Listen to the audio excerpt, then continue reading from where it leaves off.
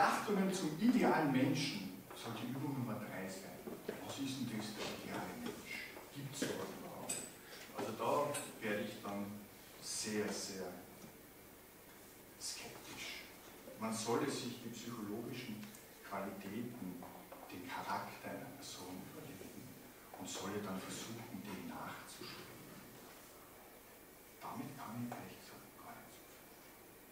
Vielleicht ist der umgekehrte Weg, der spannende.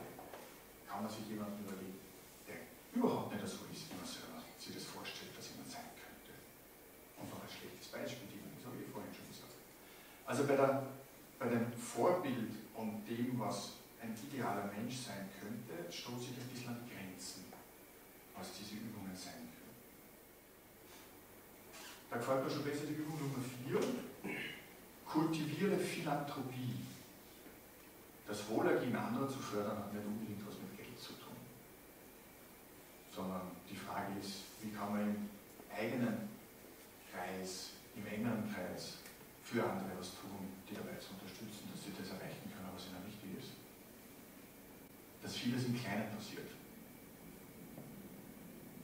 Da gibt es ein paar sehr spannende Initiativen zum Beispiel.